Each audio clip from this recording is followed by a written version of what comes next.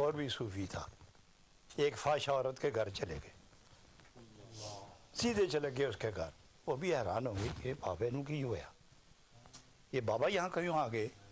तो उसने कहा, बैठ बैठ बच्चे बैठो। थोड़ी तो रात की मजदूरी कितनी है? उसने कहा, दो सौ दिरम ये लो। आज तुम रात मेरे पास रहोगी। उसने कहा, बस ठीक है, दो सौ में मुझे मिलने। आपने फरमाया, जाओ फिर गुसल करो।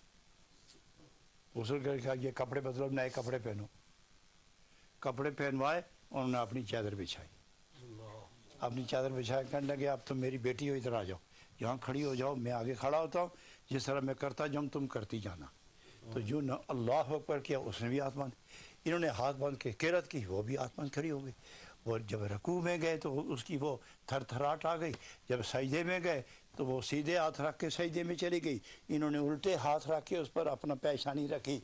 मौला करीम आज तुमसे फिर एक सवाल करता ये तेरा गदागर बाजीद बुस्तामी, ये तेरे महबूब की बारगाह का एक अदना गदागर बाजीद बुस्तामी आज इसकी किस्मत में तब्दीली देखना चाहता हूँ। ये जो जहन्नम के अंगारों में चली गई है इसको मैं जन्नत की खुली फिजाओं में देखना चाहता हूँ।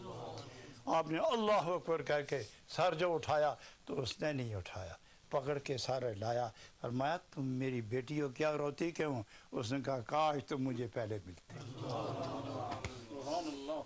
काश तुम मुझे पहले मिलते।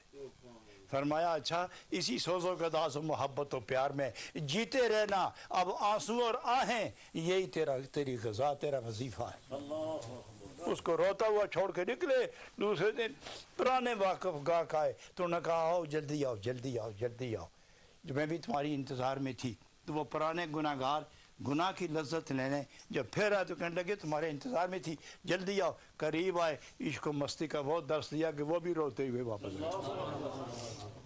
एक सूफी ये है